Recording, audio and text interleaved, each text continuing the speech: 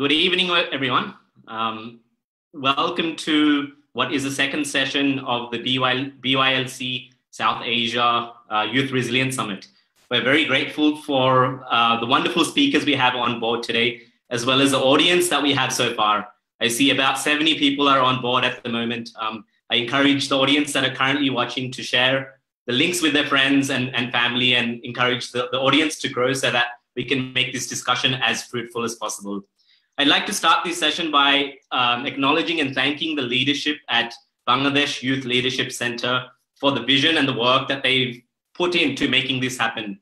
For the last 12 years, BYLC has been at the forefront of establishing and enabling young people all across Bangladesh to develop the skills that they need to be able to su succeed in the future. These skills include things like empathy, teamwork, uh, compassionate leadership, and uh, critical thinking. And BYLC has again come together to put together this wonderful session in, in what is, of course, some unprecedented, unprecedented times that we're all going through. Today, we have, um, over the next one hour, we're going to be um, uh, speaking about the topic of putting youth in charge and young people as change makers. Um, and in order to do that, we have three very special speakers who represent three very different countries um, um from across the region. First and foremost, we have Ayeleen Saleh, who uh, is the founder of uh, Acumen Academy Bangladesh um, and has uh, extensive history of working with young people in the region over the last uh, decade or so. Then we have Anshul Tewari, who is the founder and editor, editor in chief of Youth Ki Awaaz. Um, and uh, um, Anshul will also be joining us and, and be introducing himself in, in a few minutes' time. And of course, the last speaker we have is um, Ali Raza Khan, who um, has joined us all the way from Pakistan. And, and he has been running the Yes Network of, of Pakistan for the last few years. And before I get the speakers to introduce themselves and speak a bit about their platforms, I want all of you who are watching today, and, and there's currently 365 of you, which is absolutely fantastic, to write in the comment box below where are you uh, joining this live recording from. Be spe as specific as possible, the city and the country that you're, you're um, online from. And without further, further ado, maybe 90 seconds I'll give to each speaker. Um, and we can start with uh, Ayeleen, um, just to speak a bit about yourself as well as what Acumen Academy Bangladesh does. Sure. Thank you, everyone. Uh, my name is Ayeleen, and I'm part of the leadership team at Acumen Academy Bangladesh. Um, our mission is to empower and unleash the new generation of uh, social innovation, innovators, leaders, uh, with the determination and grit to build a more just, inclusive, and sustainable world. Um, we call ourselves the University Reimagined. Thank you. Fantastic. Um, uh, Anshul, do you want to go next? Sure, uh, Shantanu, thank you so much. Yes, thank you so much. Uh, hi, everyone. It's wonderful to be here. My name is Anshul, and I run uh, Youth Ki Awaaz, which means Voice of the Youth. Um, it is currently India's largest uh, completely crowdsourced media platform, which means that anybody can uh, share their stories. And we focus on uh, largely on social justice issues um, so it's a lot of socio-political conversation happening on our platform uh, by more than 100,000 people um, and being read by close to four and a half to five million people a month. Uh, many of these stories end up having a considerable amount of impact uh, on ground, on the policy uh, makers, uh, and even end up starting a lot of civic movements around uh, us in India. Um, and I'm really excited to be here and to be meeting young people from all across South Asia. Thank you. Fantastic. Thank you very much, Anshul. Um, and Ali will will uh, uh, want to hear your introduction now.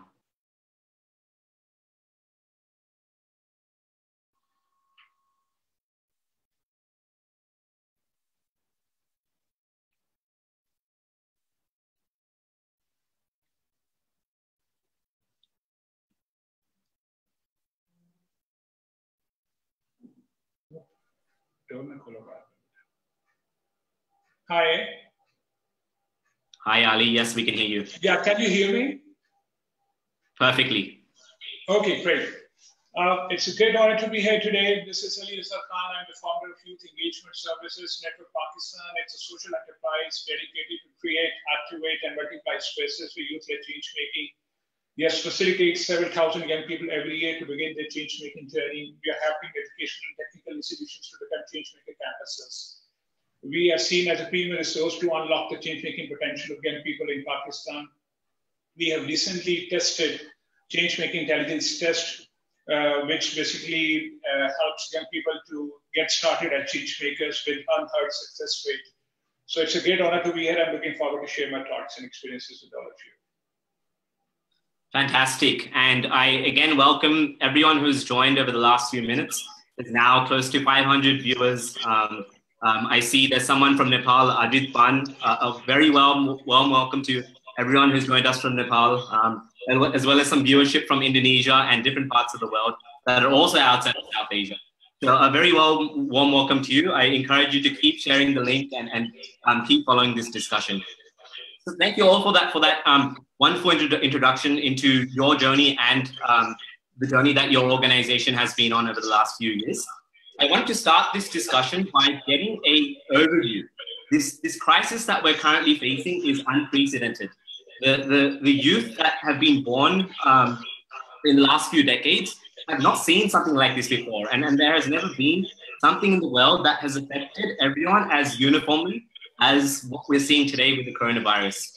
I wanted to hear from each and um, um, each one of you what the impact of this virus has had on the youth population in your countries. And, and maybe I'll start with you, Ali, since you're on screen. Um, if you could speak about, about how the youth are responding in Pakistan. Yeah, actually, if you look at the you know population of Pakistan, we have a huge youth quake in this country. Seventy percent of the population is under the age of 33, and you know 30 million people are in between the ages of 15 to 29, and they're seriously affected by this coronavirus. And I think we are caught in a kind of a catch-22 situation. You know, we don't know whether to go to save lives or whether to go to save livelihoods. And as we have already mentioned that it's not only you know a health issue, it's also economic issue, it's a social issue, it's a cultural issue, it's an education issue. And I see a tremendous change you know, this is unprecedented and nobody has expected this. We're talking about young people. I think my parents have not expected this and never experienced this in their lives as kind of a, you know, you know, virus. So uh, I think, you know, things have changed tremendously during the last three months, socially, culturally, educationally. When I look at from social perspective, I think you can imagine that, you know, we live in a world today now where hugs and kisses will be seen as a sign of ignorance where shaking hands would be seen, you know, something very risky. Even sitting with parents would be very, you know, sometimes risky. You might transfer them a virus. So I think, you know, our our events has ended with, you know, sports, with restaurants, shopping malls, and the most affected population right now, in my opinion, is children and young people because they were already on the edge. You know, they were sitting, uh, you know, already, you know, in a kind of situation where they were looking for resources and you know, opportunities to realize their potential. And then what happened, this has come at the time when they were about to take off. You know, every year millions of young people are being graduated and they're looking for opportunities to contribute. And you know, if you look at the stats of Pakistan, like 57% of the youth is neither working or seeking jobs. So you know, you can imagine the kind of you know challenge we are facing right now. But on the other side of it, I think uh, this is a great opportunity for us to revisit our policies and programs and young people are trying to basically discover their talents and yeah, they're trying to you know uh, reimagine their future because this was not happening before. Nobody has experienced this. Nobody, nobody has even anticipated this. So i see this is both you know yes this is a day, you know very dangerous situation in a way that you know it is affecting many lives. But when i look at the numbers in pakistan we are not doing bad right now you know uh, with the grace of god you know the number of cases are not that high. We have like 6,000, more than 6,000 people affected. And uh, still the things are under control. But the only challenge is how to help young people, especially to basically reintegrate into society once the coronavirus is over. Because the biggest challenge would be to help them to reintegrate socially and economically. And this would be the same situation in India and Bangladesh and many other countries because you know they might need a lot of help from institutions and institutions might not be ready for that kind of help. So that will be the biggest worry and challenge right now we are facing. And I hope that you know this kind of conversation will help us to move forward with better wisdom and decisions. Right, right. Just before I move to Ayeleen to share her thoughts from Bangladesh, um, I also want to encourage everyone who's on the live stream today to share in the comment section how has the coronavirus hit you the hardest? What aspect of your life has been impacted the most as a result of this situation that we're all in? It'd be really nice for you, you all to share on the comments section um, what you're going through and what your experience has been. I know that we, we are getting a lot of viewership from different countries, um, also outside of, outside of South, South Asia, and, and please do continue to, to sort of uh, share, this, share this stream with your friends and family so that we can get more perspectives and, and have more comments um, on, the comment box. I'll now move to Ayeleen. Ayeleen, um, um, as, as in Pakistan, the youth demographic in Bangladesh as well is also skewed towards young people. And, and um, through media reports, through conversations, um, young people have, of course, also been um, severely impacted from a social, economic, and, and health perspective. Where are you seeing the biggest impacts uh, that young people are facing in Bangladesh? Sure. Um, thank you so much, uh, and thank you, Ali, for the, the commentary. Um, I think before I begin, I would like to take a step back and reflect on a question um, that's pertinent to pretty much everybody who's on this um, um Facebook Live today. So, um, how many of us um, during these days on a daily basis feel anxious, feel fearful, helpless, hopeless? and then, how many of us are actually asking for help? these times are unprecedented, like we all know um, I think what we really need to start is by being compassionate to ourselves and to the people around us. Um, so when we are going through these times, we are going through a lot of loss and grief.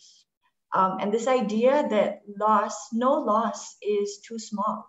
Um, for example, every day I used to go to the park at 5 p.m. with my children. Um, the park is closed for the past month and that is my loss. That is the loss of my family. Um, and I should, if I want to, be able to grieve it. You know, this idea of grief uh, in this hierarchy, there's no such thing as hierarchy in grief. You know, every every loss is important to the person who's dealing with it. The, the next important thing that youth especially are grieving is the anticipatory loss you know this idea of we will be able to graduate will i be able to find a job um, i was supposed to get married in june um, will i have my wedding um, will my elderly parents be able to overcome or survive this virus um, and these are important questions and these are questions that are not in our control but we still need to give our ourselves time and space to process them um, so this idea that just because uh, youth is resilient, youth has a lot of grit, you know, take time for yourself and be able to see where you are in this.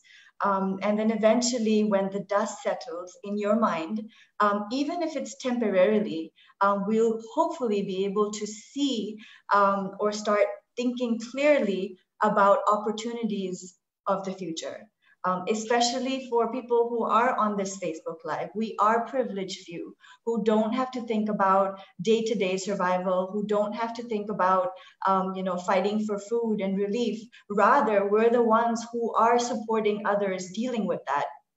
And so this is really the time um, of sense making. Um, and there are three things that I thought that would be really important around this time. Um, so the first is this idea of um, the work that we offer during this crisis.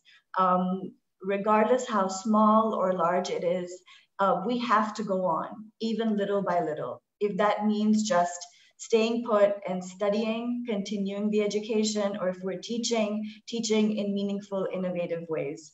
Um, if we are doing amazing disaster management relief work, like we see all, all, across the country and all across the world, actually, um, especially for marginalized, vulnerable communities, that's great.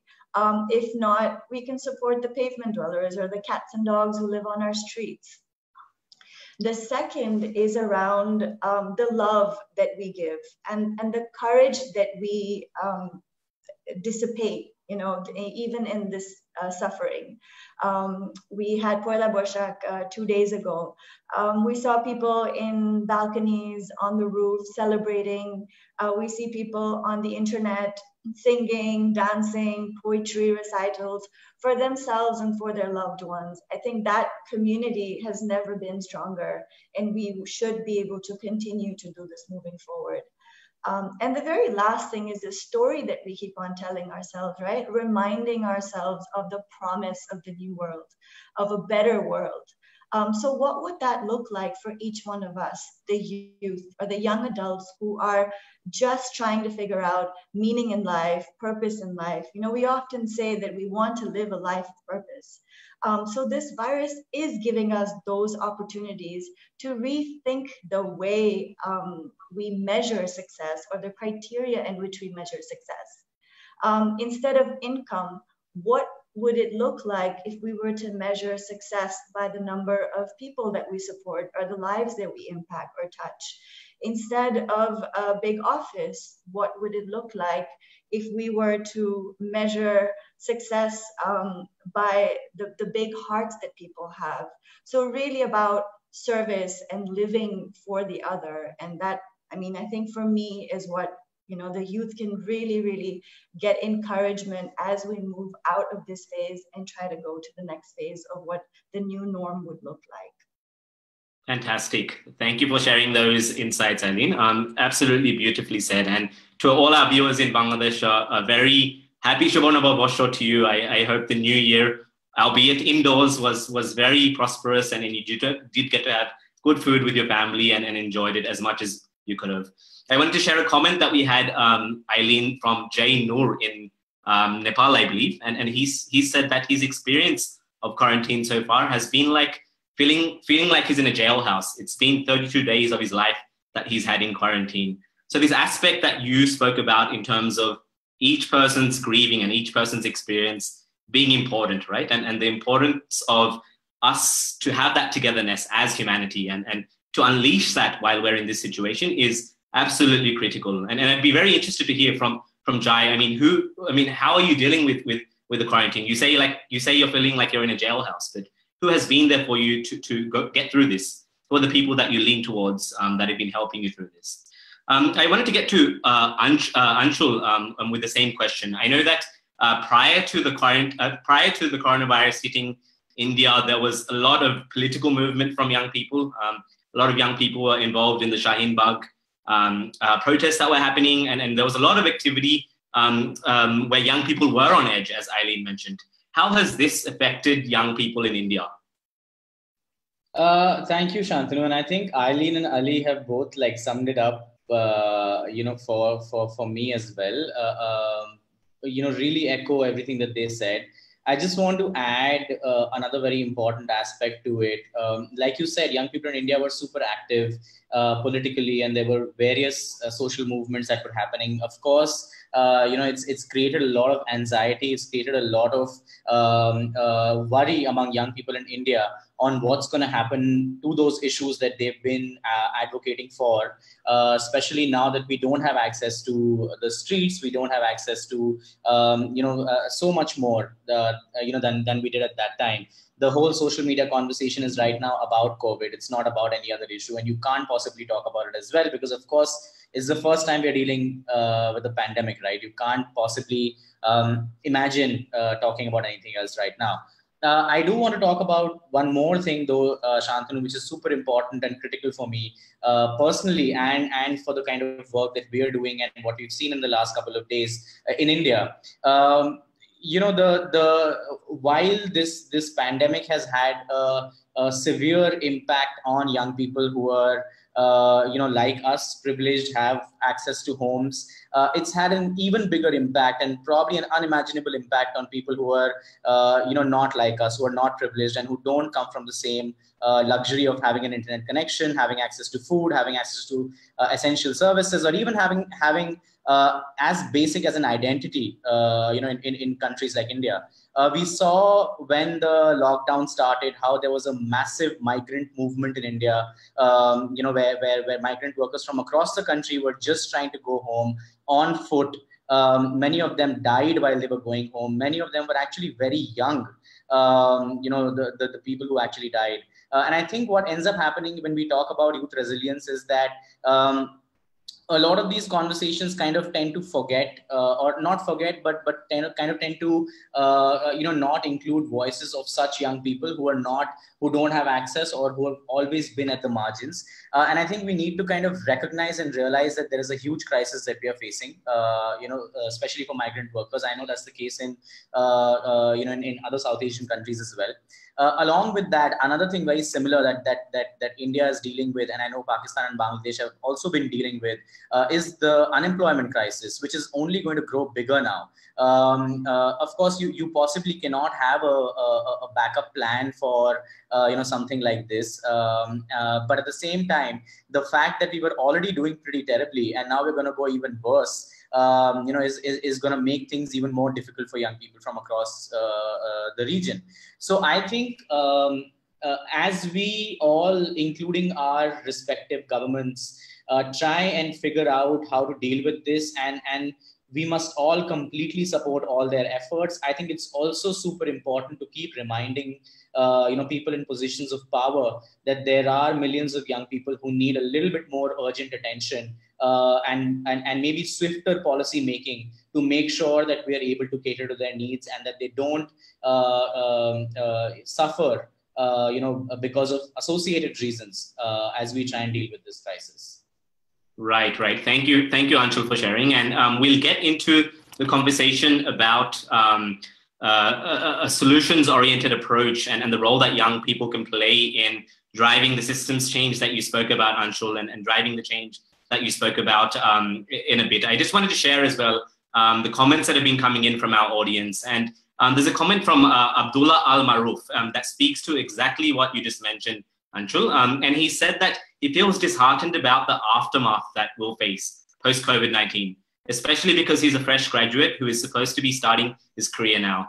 And similarly, we have another comment from Atik Yasir. Um, he said that as we as we know, we're not accustomed to experiencing these kinds of disasters. So the impact is still a little bit underrated amongst us. So being a young person, what is it to be done?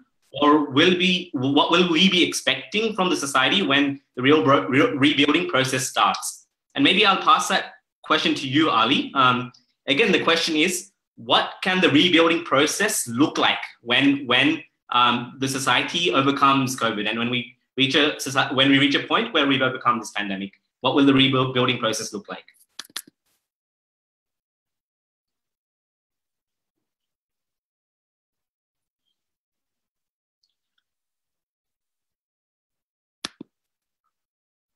Ali, uh, you're on mute, um, so we'll have to just quickly unmute you. Yes. Sorry. Can you yes, you're on mute. Please continue. Okay, sorry. Uh, I was saying that I totally agree with Anshul. What he was saying that you know the greatest challenge right now is to safeguard the human dignity, because there are so many young people out there and who are feeling you know isolated and they don't know what to do with their lives right now. You know, I, have met many young people. They were saying you know they prefer to die you know, with coronavirus rather than dying with starvation because they see their parents are on the road, they're looking for medicine and looking for so many of the services immediately and nobody is there to, you know, raise their voice and to help them to get all these services. But how we can, you know, handle these, you know, situation like this in future, I think the most important thing we need to learn is that, you know, we need to understand that how important it is to engage young people, to unlock the changing potential of young people, to rely on young people. Because I have been hearing this all my life. I spent like almost two decades working with young people, and I have been hearing the same discussion that young people need to be, you know, heard. They need to be involved. I think we need to go beyond that. You know, we are living in a new world today. We need to change paradigms. You know, unless until we change paradigms, we will never be able to change results. Because the problem lies with the paradigm. This paradigm does not see young people as change makers. It doesn't see young people as someone who can add value to society. They hold them back they, this paradigm provides them a very lengthy timeline for success. You know, they're following the same, you know, a timeline which was followed by 30, 40 years ago by people. So I think we need to change, you know, sense of expectation, sense of merit, a sense of performance. Because unless and until we change that, you know, we will never be able to mainstream young people. You see what happened when this virus has stopped. You know, even the developed countries are looking for volunteers. They don't know what to do with this you know, this happened in the past when earthquake has come, when floods came. You know, every time we look at young people to come and help them out. And after that, you know, we had no policy to continuously engage them in solving these issues. you see, it's very important for us today to you know, make a policy at country level to provide at least one opportunity to every young person to add value in the society. I'm not saying that they need to be provided opportunity to set up a company, an organization. I'm saying at least one opportunity to add value the society. This should be part of education. Unfortunately, unfortunately, the biggest obstacle right now in helping young people to become change maker is education. You see, imagine that you spend 16, 20 years in education and then still you don't know how to add value because this system doesn't allow you to do this. So uh, what we are doing in Pakistan, and I really wanted to share this here, you know, we have invented a very simple and scalable method to activate young people at change makers. We call it change making intelligence test. It is unlike other tests where you have to basically give correct answers, where you are judged against your personal excellence. It is kind of a test where you are evaluated by your performance, you know, in the society, you know, how you create social economic impact in the society. Imagine young people are not assessed in the classrooms. They're assessed in the fields by their change-making projects. You know, we would have win-win situation for everybody. You know, there would be millions of people working on several issues. We will not be, you know, relying on few people to deliver at the time of crisis. So uh, my suggestion is to, you know, set up a mechanism, permanent mechanism, change the paradigms, and help young people at least get one opportunity through, you know, educational institutions, through communities to give back to the society. And uh, we have developed a kind of a progression framework, which basically facilitates young people from no impact to global impact. Because, you know, once you start your journey, young people don't know how to, you know, proceed.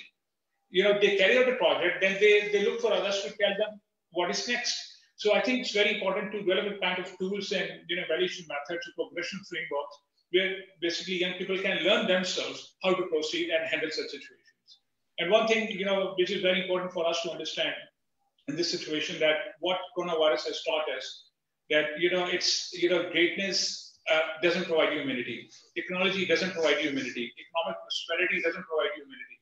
You know, your high GDP rate doesn't provide you immunity. What provides immunity is your compassion, your respect, you know, it's your ability to add value to society. And unless and until we unlock this ability, we would be, you know, having same kind of crisis again and again. Fantastic. And, and on that note, I mean, we have a lot of comments that are coming through. And what I do encourage is our viewers and our audience who are on our Facebook live stream to have a conversation with also with each other on the comment section, to respond to each other and, and respond to the questions that you all have. But for the purposes of um, one of the comments that we have uh, here, um, Farid Ahmed, and I'll keep this question to you, Ali, um, very quickly. Um, his, his question is, what are five tips that you would have to overcome this situation? Five tips Sorry? to overcome. Sorry, can What you repeat this?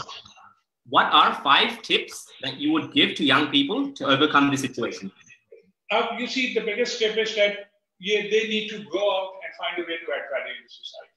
You know, they must not wait for anybody to come and help them out. You know, life is not do it for me project. Life is do it by yourself project. Most of the times we are waiting and you know waiting for someone to come and believe in us. You know, they need to go out and see. You know, this is the 21st century. It's very easy for anybody from anywhere in, the world to plug into the world, share their ideas, share their work. You know, we can't say that people have no opportunity to share their work. Today, I think we are living in a new world. You know, every day we have to decide whether we want to change the game or we want to repeat the game. And most of the times I see young people prefer to repeat the game. And the compensation is huge if you if you drive the change and if you follow the change. And I, I would strongly encourage him to go out and see how he can add value to society, how he can spot an opportunity to add value to society. He can be the first, he can be unique. And it's not something he has to learn from the society. I have learned over the years that struggle is the best training.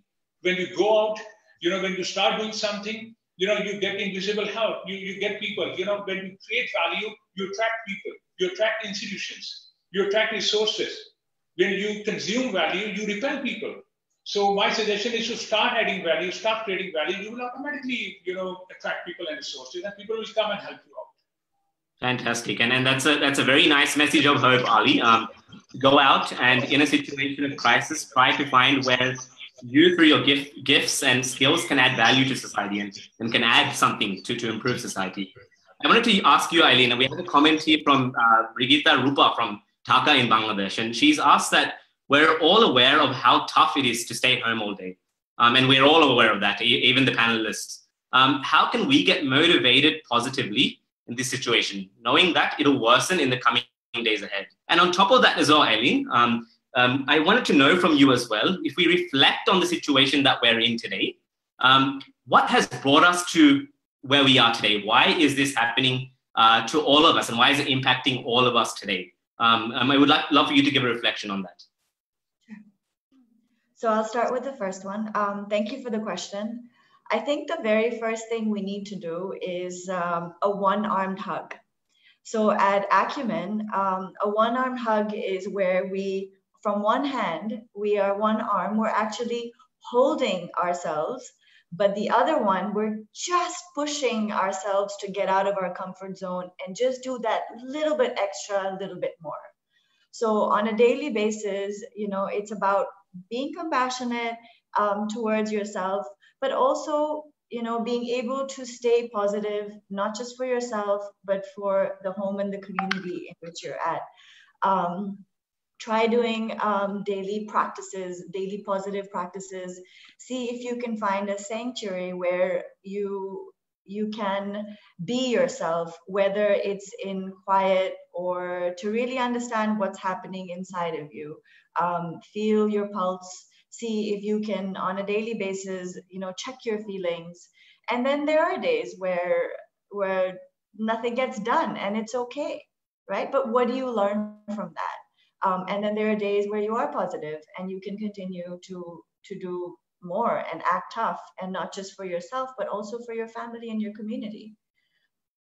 So yeah just a few tips to see where you are. A routine definitely helps Fantastic. And um, Ayeleen, the, the, the, next question was um, if you were to reflect on uh, the situation that we're in today, how did we collectively, as a globalized world today, get here? Um, um, what are the factors that have played a part in getting us to where we are today?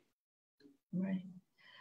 Yeah, I think that's that's a, a, question that a lot of us are reflecting on, right? Like these tensions we have in our mind around um, was the world how we wanted it to be in the first place? You know we talk about climate change um, we talk about poverty. You know most of us are in in the space of development. The youth they they are entrepreneurs. They're wanting to do something.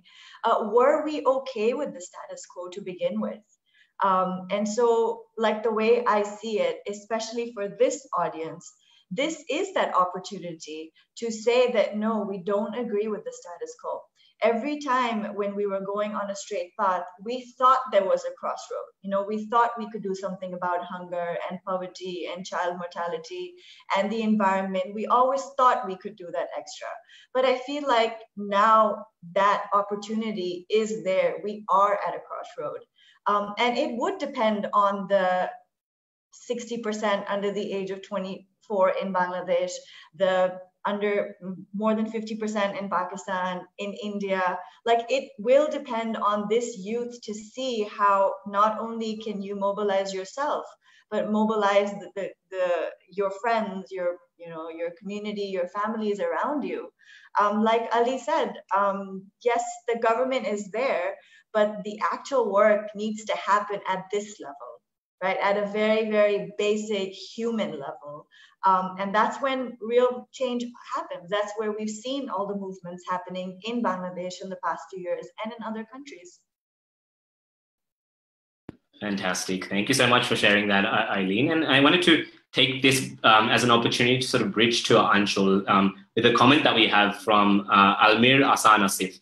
And since we've gotten into a conversation where we are chatting about potential solutions and, and potential role that young people can play, um, um, what what uh, Almir has commented is what are the opportunities for South Asian youth to collaborate together to fight these crises? Uh, this call today is a testimonial of the incredible power of young people coming together um, to speak about and, and create a space about things that are important to them, which is this pandemic that we're facing. And, and we've seen um, we've seen inklings and examples of this through uh, the climate marches that we've had um, um over the last few years, last few months globally. But um, what opportunities do you see, Anshul, and what skills do you see young people needing to develop in order to be able to collaborate together um, um, as, a, as a society?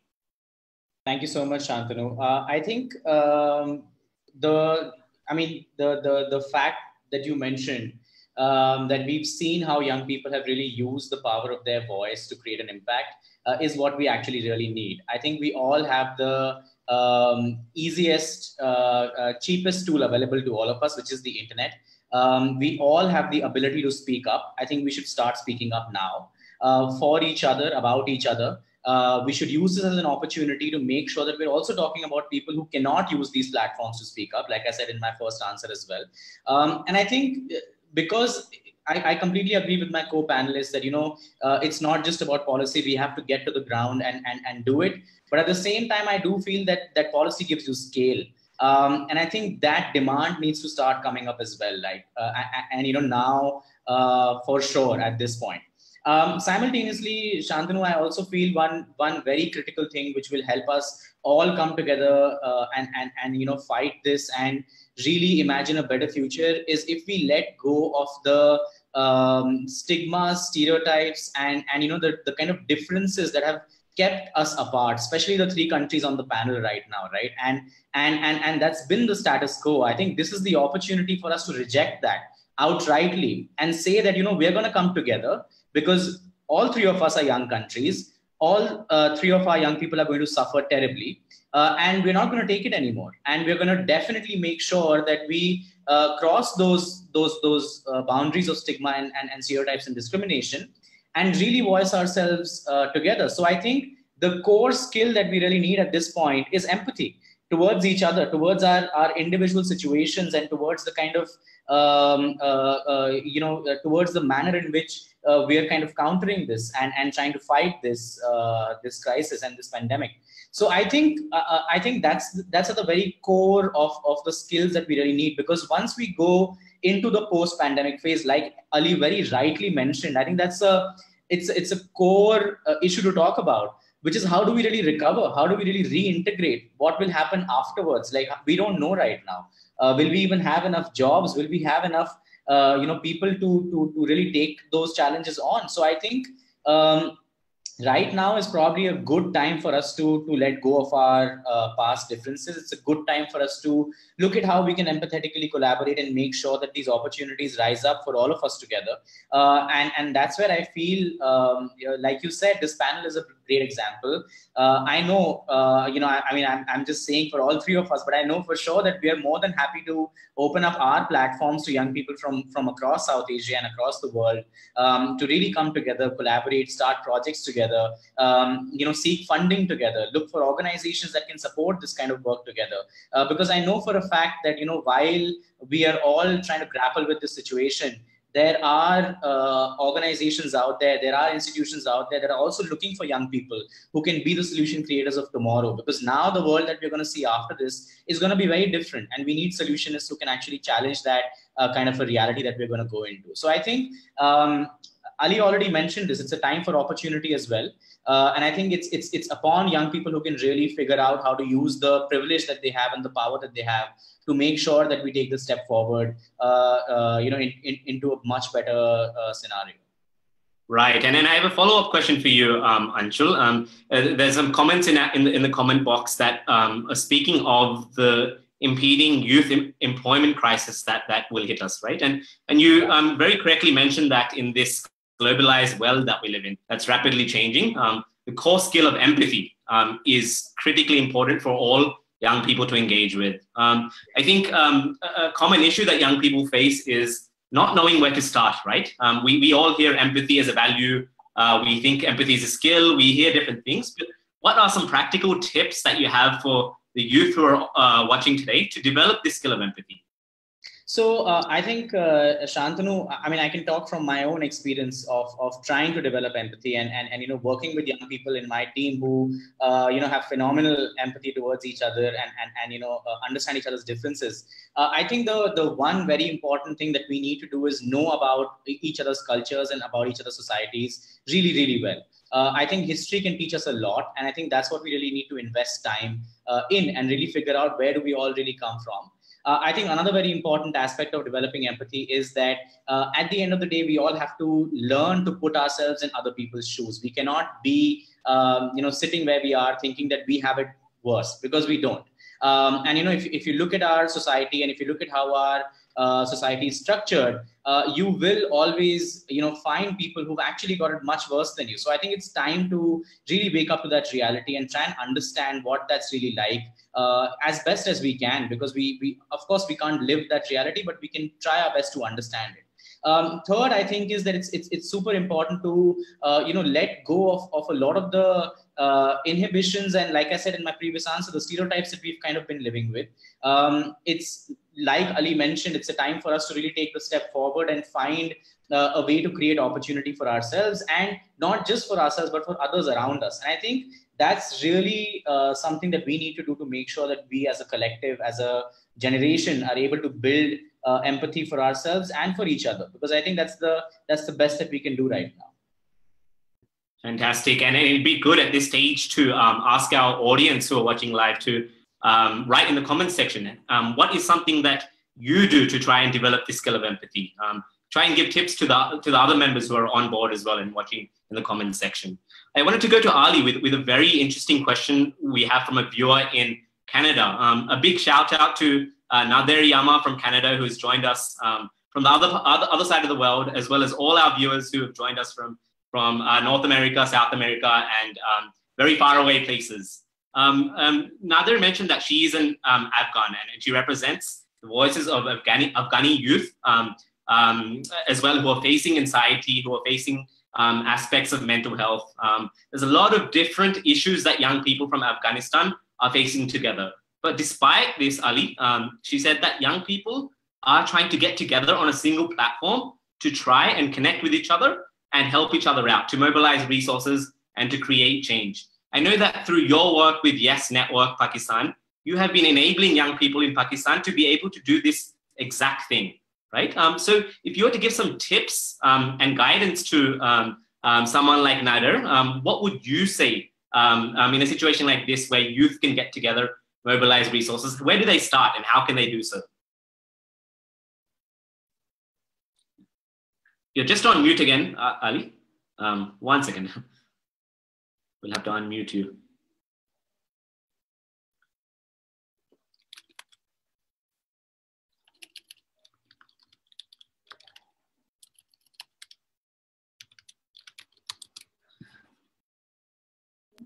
I think um, there's always a suspense to hear you speak, Ali. That's why the, the, technology takes a bit of time. We've got you now, though. Can you hear me now? Yes, yes, perfect. Okay, great. Uh, actually, it's a great question. Uh, thank you very much for asking this. You see, the biggest challenge uh, right now, young people are facing not only in Pakistan, all over the world, especially in countries like Afghanistan and many other countries. You see, the freedom to take initiative you see, they lack freedom to take mm-hmm. initiative. And number two, they lack trust-based environment. You know, most of the times we talk about knowledge and skills. Trust me, I met so many young people who have a lot of knowledge, a lot of skills, but they don't have the freedom to exercise initiative. They don't have the trust-based environment. You see, how do I come to know that what I'm capable of? I come to know through my environment. And my environment doesn't give me this identity to me. My environment doesn't allow me to go out and try out something. You know, it holds me back. It asks me to back off unless and until you achieve something academically, you know, you achieve, you know, good grade, you, you show your, you know, intelligence in certain areas.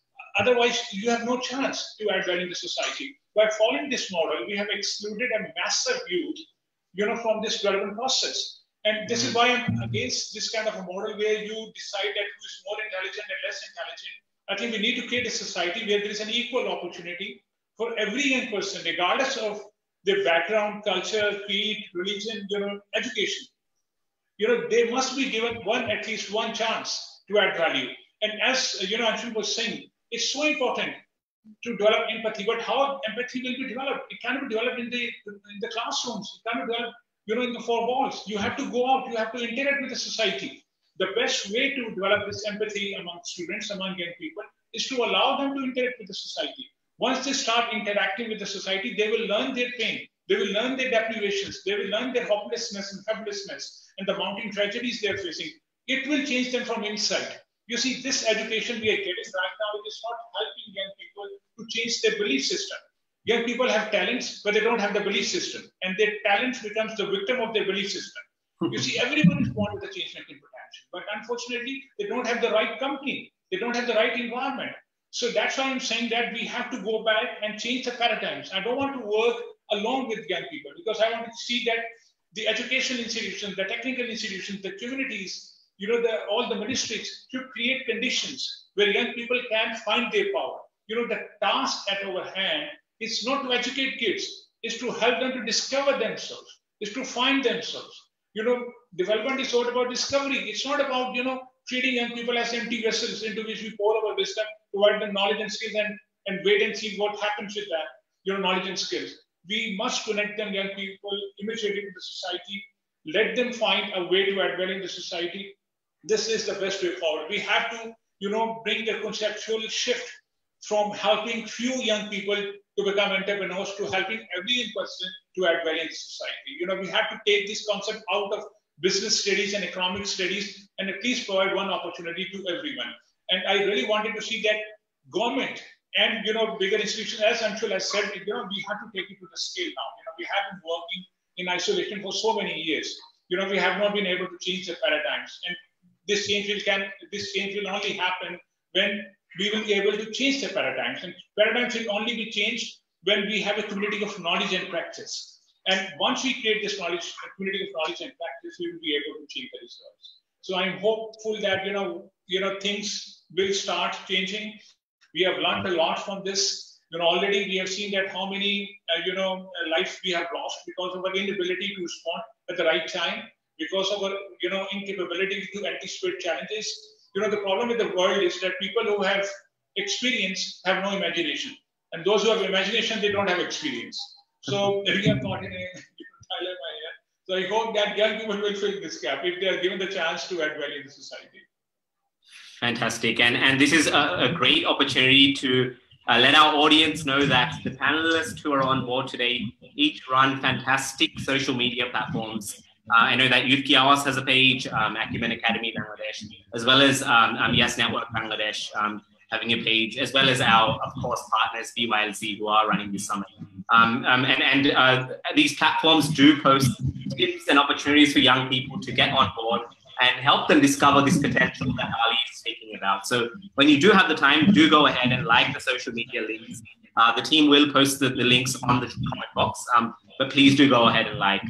Um, I wanted to go to Ayeleen now, and there's a comment from um, uh, Saramsh Karel, and, it's around, again, the, the, the, the fear of employability. Uh, Saramsh uh, has mentioned in the comment that for low income countries, um, such as Bangladesh and Pakistan, the IMF and the World Bank has declared massive amounts of debt and support to enable the economies of these countries to redevelop. Um, but, but what Saramsh is worried about is as a graduated student, as, as someone who's just uh, finished um, getting out of college and getting out of school, um, uh, she was, he or she was prepared um, to enter the, the workforce um, through the skills and knowledge developed, right? Um, but this, this um, coronavirus has put this all on hold, and it's, it's largely representative of the world that we live in today. We've seen, um, because of rapid changes and because of rapid introduction of technology, there's been a lot of young people who have gone through institutions and learned skills and, and developed the knowledge and, and gotten degrees, but they've come out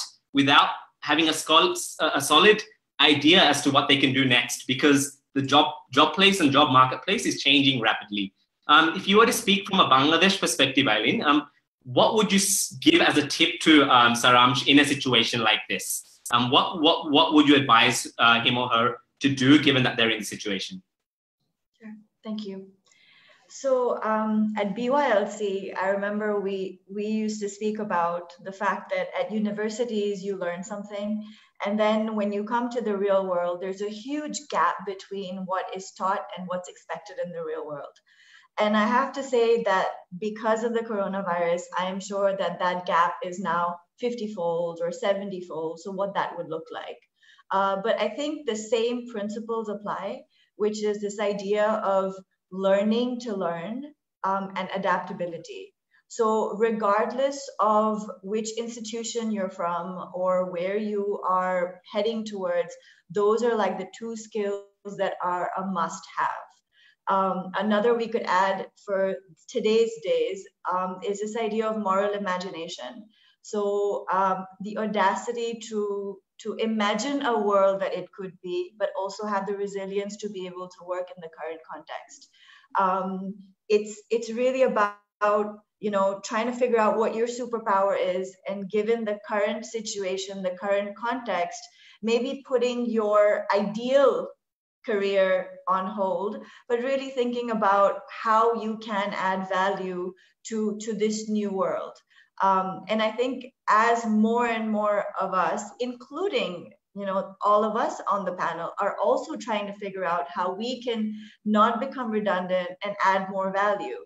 Um, as we do that, um, hopefully that's the, that's the new norm that we're talking about. Um, us at Acumen, we do physical seminars. We we meet our fellows, we meet our communities all the time and now we're not able to do that so how are we supposed to hold them hold them and also grow and learn and prosper and get you know basically get people to reach their full potential that's a question we're also grappling with so it's hard you know it's a very hard question that that all of us today are grappling with. Of course the the newbies the ones who are just coming into the job market, the ones who are just graduating, um, are, are more shaken up. But at the same time remember you have something that we don't you know. You can experiment. You have the resilience. You have the grit. You have that power. Um, so it's really about how you are able to use that and come out stronger than covid-19 fantastic ayeleen and, and um, every time you speak i think um, um, the response is always with an element of hope and, and, and, a, and a way to look forward. So we thank you for that encouragement and that positivity, positivity that we all need in, in a time like this. And, and um, there was a question, I mean, you just, you just spoke about um, um, the skill sets needed and, and sort of how we need to reframe uh, what our futures look like over the next few years. And, and there was a question and reflection um, from Saud Hussain, um, where, where Saud is facing a situation where um, uh, they are in a mid-career position where they've been in the job market for about five years now. Um, and they're facing a dilemma of, okay, um, they were set and they had an idea as to what they wanted to do. But now, uh, because of job security concerns, they need to stay doing what they were doing, right? Um, and I'm sure this is a common problem that you've heard through the, the various people you're connected with at Acumen Academy Bangladesh. But um, um, does, does what you said change for mid-career professionals, Ayeleen? Or would it stay the same? The advice stay the same? I mean, I think it's also an opportunity to see what the new um, what the new outlook would be, and um, you know, kind of taking that that step or their chance and and becoming an entrepreneur. You know, um, I think the world needs, even if they're not physical entrepreneurs, this entrepreneurial mindset. Um, and that's really because it's it's about experimenting it's like setting rules and then changing them and then moving forward. Um, it's about getting out of your comfort zone and always kind of dancing on that edge. Um, so i would definitely say if you have that opportunity on the side see if you can try experiments um, and see what works and what doesn't. And you know i think uh, yeah think there's definitely um, success there it's fantastic um, where, there, where there is a problem that we face is always an opportunity. What, what, what, a, what a beautiful remark and what a beautiful way to sum, sum it up. I, I recognize that we're five minutes from time, so um, and we are quickly running out of, of, of the time that we've um, put together for this panel. But I wanted to end with the last comments from each one of our panelists. Um, and I know that um, a lot of you had comments that you had put in the comments section. Um, I do encourage you to keep putting these comments in the comments section. And, and um, I encourage you to all engage in discussion as Anshul mentioned um, uh, a while ago uh, during this during this um, webinar, um, it's very important that we do start dialogue um, amongst ourselves and we do enable and help each other to answer some of these key key and un, uncharted questions that we have and that we're all facing. So please do keep the conversation going in the comment section below. And we look forward to answering these questions and engaging with, with these topics of discussion over the next few days as, as we continue with the summit. But um, speaking of you, Anshul, I mean, we have a few minutes left. Um, I'm calling this the power minute. We, we end with a power minute. Um, if there was one message that you would have to send to the youth who are uh, viewing this um, webinar today and who have engaged with this conversation, what would it be? Wow, so much pressure, Shantanu. Um, I think I think there are a couple of things, but I'll quickly sum it up. Uh, like I said, um, if you have the the power of voice, use it not just for yourself, but for others who are uh, suffering greatly right now. Um, but at the same time, I do want to say that uh, nobody has the answers, and that's just the truth. We don't know what's going to happen. We are not experts. I don't know what's going to happen to my organization either. Like things are changing drastically, right? Um, so I think the only thing that I can say is that we all have to learn together. We all have to learn to overcome this at some point. Um, and like uh, you know, Ayeleen mentioned very beautifully in the last answer that we have to find opportunities once this is over. Uh, we have to find the the right path for ourselves when this is when this is over, uh, and we can't do it alone. So I think the only um, important thing that I would say is that let's let's value each other. Let's value our abilities uh, to really help each other out and, and do that once this is all uh, over because it will be over and and uh, I'm sure we'll find a way ahead.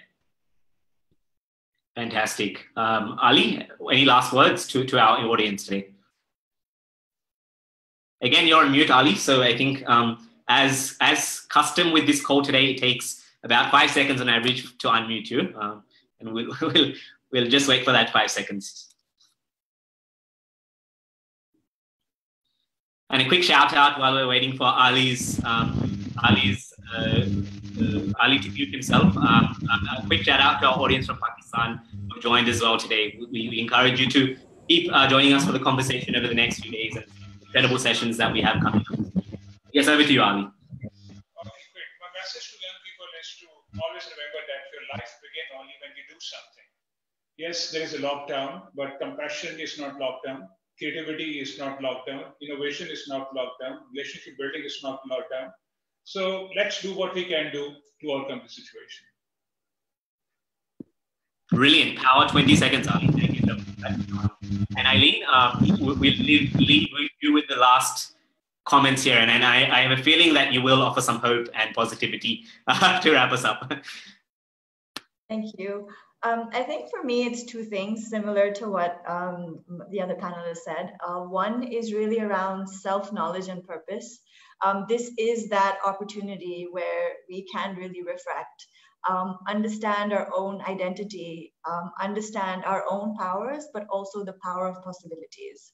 Um, and the next thing that Ali said, this idea of building and sustaining real relationships that can really take us through this time and also carry us forward um, in, in our next lives when we are um, safe, healthy, and happy.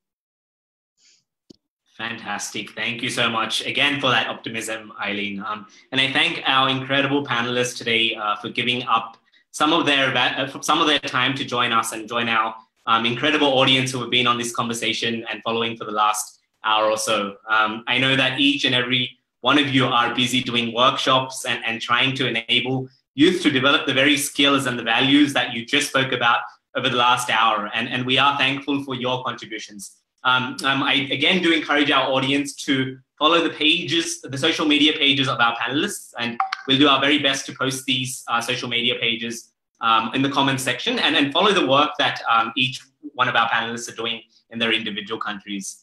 Um, I also wanted to encourage um, you all to join um, the, the, sessions that we have coming up over the next two days. Um, the BYLC team, in partnership with its uh, outreach partners and academic partners, has put together some fantastic sessions on the impact of, of, of this uh, pandemic um, on social enterprises, on the development sector, um, on public health, as well as many, many other topics of interest that young people have been speaking to us about and, and have um, said that they're concerned about. So um, do follow the BYLC page on Facebook to um, uh, see what we have coming up tomorrow, as well as the day after as well.